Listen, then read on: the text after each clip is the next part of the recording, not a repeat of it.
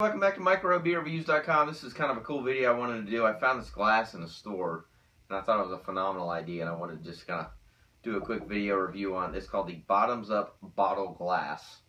Um, you can kind of see the picture here. It says, um, playful upside down bottle shape holds up to 14 ounces. Double wall keeps the drink cold. Used for beer or any cold beverage. Um, it's, it's called the bottle or glass. Enjoy both with the bottoms up bottle glass. Um, I think I paid like six dollars for it, but it's just really cool. I don't know why I didn't think of this. So they basically took a, a beer bottle uh, shape, dumped it upside down, then double walled it to keep it warm or cold.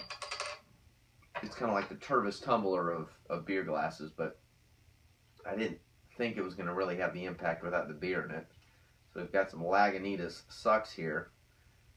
And you can see how it looks like the bottom of the beer glass is at the bottom there.